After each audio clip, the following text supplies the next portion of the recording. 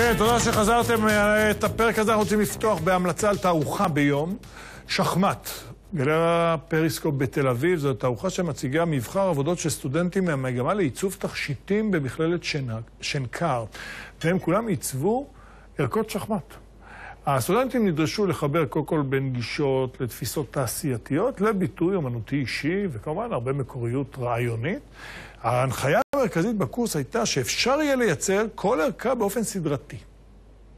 יצאו עבודות מאוד מעניינות, שחמט בגלי הפריסקופ בתל אביב, עד סוף החודש. כן, טוב, לסרטון הבא, סוף טוב, כמו שאנחנו אוהבים להקדים ולומר, שזה נכון כמובן. אה, זה סיפור על בחור בשם ג'ונתן מנגו. הוא אמריקני ב-28, נהג אה, ביום רביעי במכוניתו בניו ג'רזי. Eh,